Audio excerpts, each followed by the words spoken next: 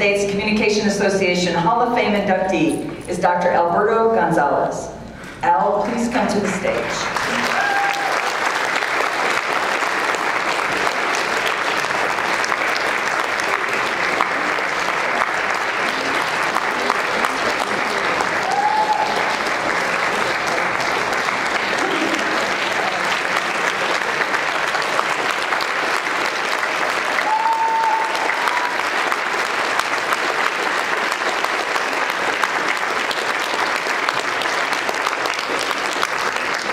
Dr. Gonzalez has been participating in CSCA conferences for over 40 years.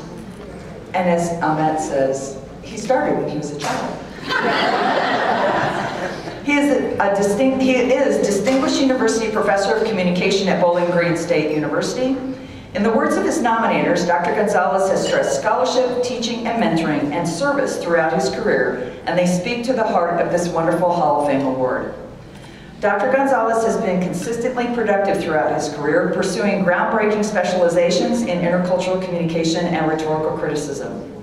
He centers his scholarship in two areas, the political discourse of Mexican-American activists and popular music as a mode of communication. Al has published 49 articles in peer-reviewed journals and in scholarly volumes. He has been a co-editor or author on 12 scholarly volumes and or revisions, focused largely on his specialization in various aspects of intercultural and cultural communication. Dr. Gonzalez's work has been significant both for scholars and for classroom use on the topic, including his books, Our Voices, Essays in Culture, Ethnicity, and Communication, now in its sixth edition, and Mediated Cultures, Parenting in Intercultural Contexts. He is also the co-author of Intercultural Communication for Everyday Life. Dr. Gonzalez's scholarly work has been recognized with several awards. For example, his co-edited The Rhetorical Legacy of Wangari Maathai, Planting the Future, received the 2019 Edited Book of the Year Award by NCA's International and Intercultural Communication Division.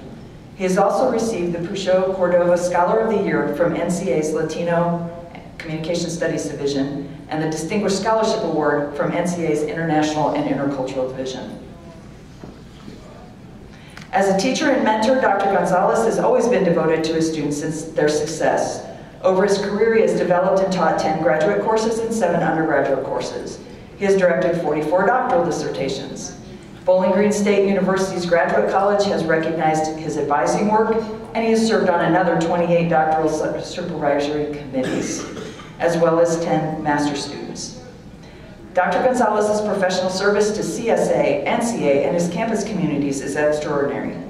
Dr. Gonzalez served two consecutive terms as CSA president, agreeing to stay on for a second year to help the association navigate the complex set of challenges associated with the COVID pandemic. Thank you. Navigating the pandemic included leading CSCA as it navigated significant financial challenges and policy changes.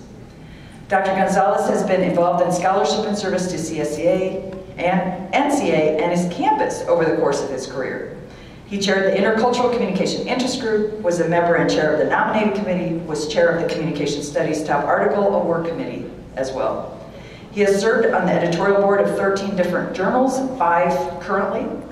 He was the planner for the NCA Doctoral Honors Seminar, vice chair and chair of the NCA International and Intercultural Communication Division, seminar leader for NCA's Summer Faculty Development Institute, a member of the NCA Nominating Committee and the Association's Legislative Assembly, among other committees. His nominator noted that Dr. Gonzalez's most important accomplishments as a scholar and leader in CSCA and in the discipline have been to advance and support association and disciplinary needs and goals to advance diversity, equity, and inclusion. He updated the CSCA mission statement for inclusivity and created an association-wide standing committee on equity and inclusion. He assisted with the formation and funding allocation for the Faculty Learning Committee to facilitate professional development for BIPOC members. He actively promoted the appointment of international and BIPOC members to CSCA committees and offices. Dr. Ahmet Atay and Dr. Gonzalez co-edited the 2018 special issue of Communication Studies Connections and Inclusions, Intercultural Communication, and Communication Studies Scholarship. He has also undertaken DEI-related service roles at NCA, including chair of the La Raza Caucus and a member of NCA's Racial and Ethnic Diversity Advisory Committee. As a scholar, mentor, teacher, and in his service, Dr. Alberto Gonzalez has made a difference to CSCA, NCA, the discipline, and in the lives of students. One of his nominators noted, I can say without hesitation that Dr. Alberto Gonzalez is the real deal. A dedicated teacher scholar, unceasingly devoted to the association and its members, past, present, and future. For all of these reasons and more, we induct Dr. Alberto Gonzalez into the Central States Communication Association Hall of Fame. Congratulations.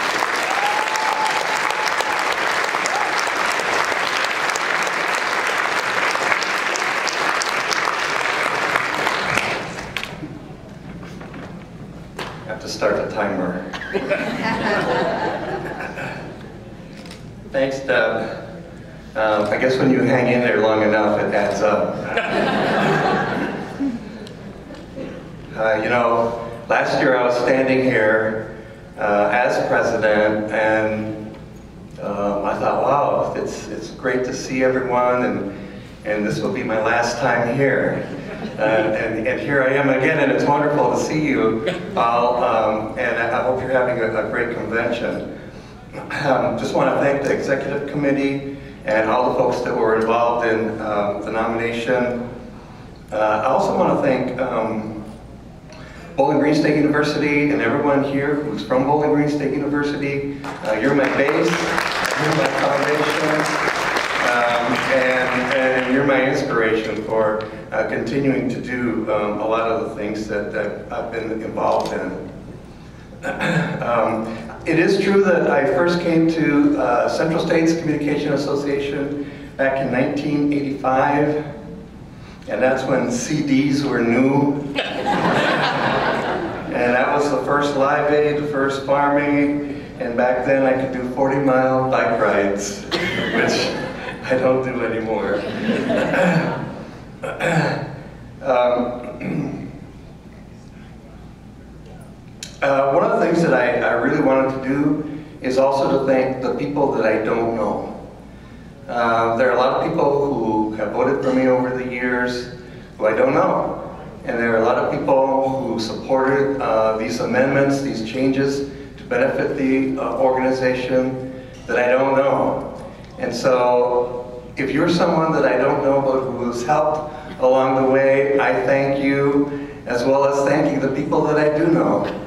Uh, one of the, the, best things that someone said uh, in Madison was, uh, I was walking in a hallway and, and someone said, um, you don't know me, but I feel like you see me.